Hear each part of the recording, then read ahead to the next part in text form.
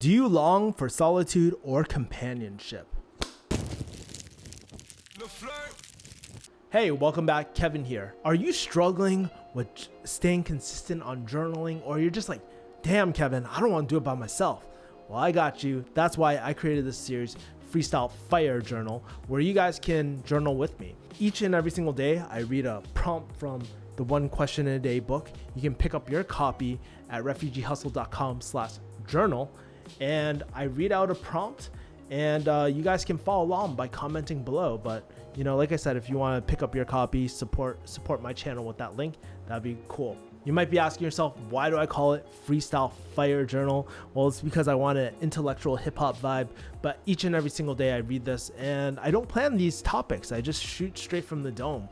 So I think it adds this like fun element to it where I just get to fully express myself too. If you don't want to pick up your copy of One Question a Day, no worries. Just comment below. You can journal with me. You don't have to be like, Dear Diary, and type, a, and type out 10 pages usually just taking a line or two, writing it down is good enough because you know what? How often do we get to take a step back, think about our lives, think about how far we've come from, and uh, let's have some fun with this. So, comment below if you want to join me, answer your questions. I'll be hearting your comments, I'll be liking them. So, guys, uh, support each other. No negative, uh, no negative vibes here, man. And of course, every episode I gotta do a shameless plug. Make sure to like, comment, subscribe to this channel, and make sure you say subscribe so you can stay up updated for every daily freestyle fire journal prompt as well, so you can join the movement. All right, today's August 1st, and one of the questions that we have is Do you long for solitude or companionship? Now, what really sucks was that I just literally shot this whole episode and I didn't press record, which I fucked up. But I was saying, like, when I was a lot younger, I used to really be so dependent on people. Like, I used to long for companionship because, you know, growing up, I didn't have too many friends. I was kind of like a loser back in back in the day, and it was really tough because I was this socially awkward kid, and my dad at the time would always yell at me, beat me, like typical Asian stare parent stuff. And I just grew up with this feeling of never being good enough. So when I would talk to other kids and stuff, I would always have these self confidence issues and whatnot as well. I was never really picked on, but you know, at the same time, no one wanted to be friends with that weird Asian kid in class too. And so whenever I did have friends, when I started getting older, like I really cherished them because I couldn't really go to my mom or my brother and really talk about the issues but one of the th- people I could always open up to were strangers. And I don't know what that what about that is that is so comfortable comforting for myself where I'm just able to open up with strangers and they're open up they're able to open up with me. And it was really, really great. And it was pretty funny. My first set of friends were actually through like the nerds. I was lumped with the nerds. We used to do nerdy things like go to math club, science club. We also played like games like diplomacy with strategy and stuff like that. And those were my first group of friends. We used to even play Warcraft 3 at the end of the day, man. And it was really great. And I really valued these relationships a lot growing up. Because, like, again, I didn't have that many relationships, especially when I was home. And so it was a way for me to kind of escape. And then it wasn't until high school where I started becoming a little more popular. Um, I I actually started chilling with the Asian Asian kids a lot more. We used to go to uh, during that time. We also had social media. A few days ago, I was talking about like Xanga and back in the day, like it was funny. The I guess the the non-Asian kids or the white kids at my school, they would use something called LiveJournal. For us Asians, we use things like Asian Avenue. Like, I don't imagine a white guy using something like Asian Ave, right? Uh, we also had Xanga, um, and then later we had MySpace, and Facebook was starting to become pop, like starting to gain traction, but it wasn't a real huge thing back in the day. But uh, those were our social media platforms, and during this time, I started talking to more people online because um, it was just fun. Like honestly, back in the day, especially when I could drive, like me and the other other kids, we would meet up random random Xangers or I don't know what you call them, Xangan Xanganians. I don't even freaking know. But basically, we used to meet up back in the day, and in the Boston area, there's only a few places you go with the Asian kids, right? You go to Frog Pond during the wintertime, and where Frog Pond is, it's downtown downtown Boston, where people just go ice skating and stuff. So all the Asian kids would meet up there. There was also like Boston Bowl, and basically all the Asian kids on like the weekend nights would just chill there and stuff. So they have bowling, that pool. All the cool kids would play pool half the time. So that's where I would uh, hang out. And I and um, there was also uh, Good Times. So Good Times was an arcade. They had like uh, they had a also pool pool in there, and they even had go karts and stuff. But you know that's where all the cool kids would hang out. And I would every single week I would meet all these like Xanga people and stuff, and people around the area and that's how we met up. And I and to this day, a lot of them are my friends. And I don't know, during that time, I would get such a thrill of meeting new and new and newer people every single week. And as I was becoming more popular, um, you know, during high school, college was actually kind of different for me because I went to a college area where there weren't a lot of Asian Americans and I, I I just really had this really great Asian identity. You know, it's funny when I was growing up, being Asian or not, it didn't really matter to me for the most part. But maybe around seventh grade, I realized that we're pretty different. And when I talked to other Asian kids, it would just we would just have this unspoken connection, and it would just be, was, it was just easier to communicate. And so when I went to this engineering school in college, I was like, damn, dude, this is like this is hell. It's like first of all, it's 80% guys. It was a freaking sausage fest. If you guys go to engineering school, you know exactly what I mean. A sausage fest. And there was no other Asians and stuff. So every single weekend, I'd be like, man, I'm so or every single day I'd be like, I hate this place. I don't have any friends here. I don't connect with too many people. I just want to go out and meet people as well. And I would call people all the time. I had a lot of great friends like back home in Boston. So every single weekend in Boston, we go to house parties back when we were underage. And like these parties were in kind of like in the Vietnamese part of town. Cops would always come, break up the parties and stuff, and people would scatter. It was like those type of parties, you know what I mean?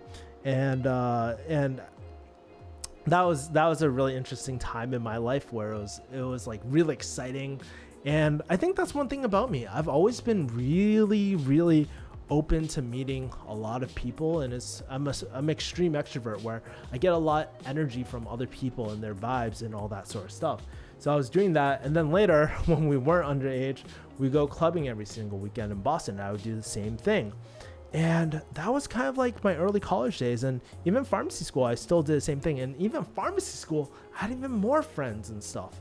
Uh, and I just felt so blessed with all the relationships that really came into my life because like my life back home was just so empty. I didn't really have anything here. I felt like, you know, my friends were so much more important because they were always there. It was just like when I was whenever I was just going through a rough time, they could be there but also during that time because i had such a strong dependency on people it was almost like a drug.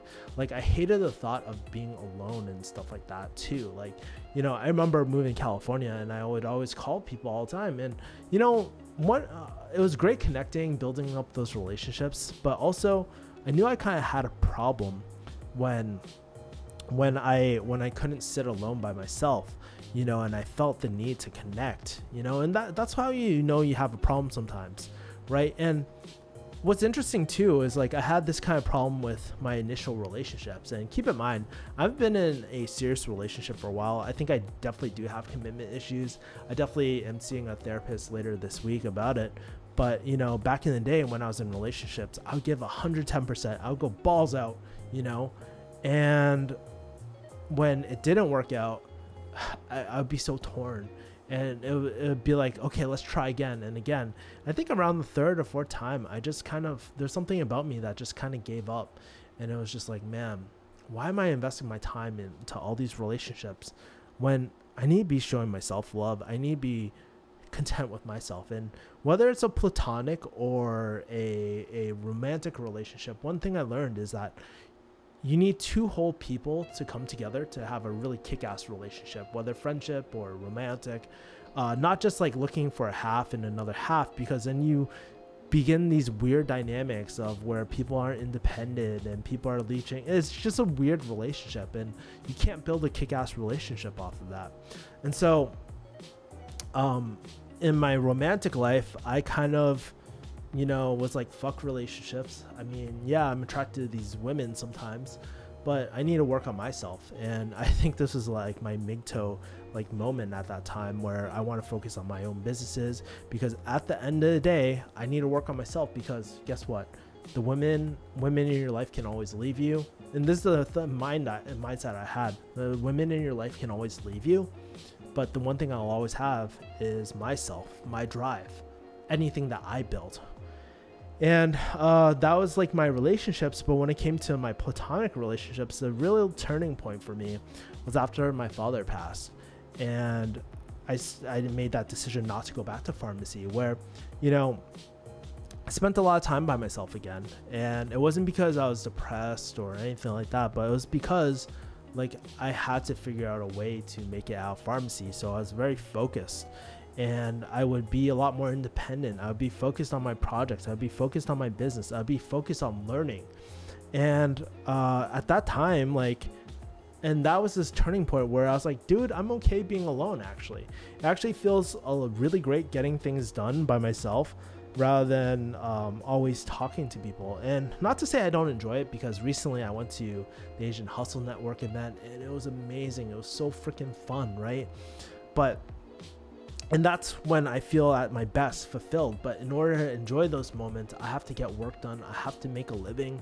I have to really invest within myself. So I have these two dichotomies, which I think is important for anyone who you need to play both. You need to have aspects of companionship and being okay by yourself because otherwise you're always going to be dependent on one one person or other. You can't you can't hit your goals without talking to people, but yet you can't talk to people until you're in a position to talk to them when you're coming as a full person if that makes sense. I know it's a little woo woo but um, it's so funny because you know fast forward to quarantine i was actually so happy during quarantine because i didn't have to i didn't have to like worry like about people and stuff. I could focus on my business and learning these different skills. So actually during quarantine i was super happy.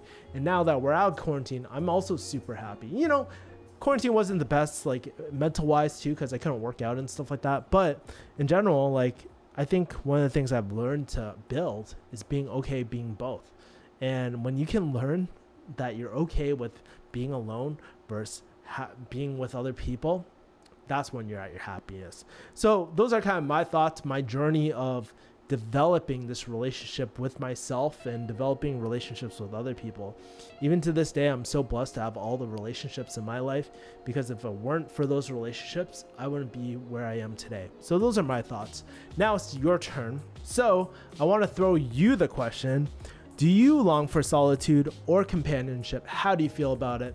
Make sure to comment uh, put your comments below and make sure to smash the like button and the bell to make sure that you stay subscribed to these daily episodes of the Freestyle Fire Journal so that you can keep on journaling with me as well. That's pretty much it, and I will see you guys later. Peace, people. Bye. Whoop.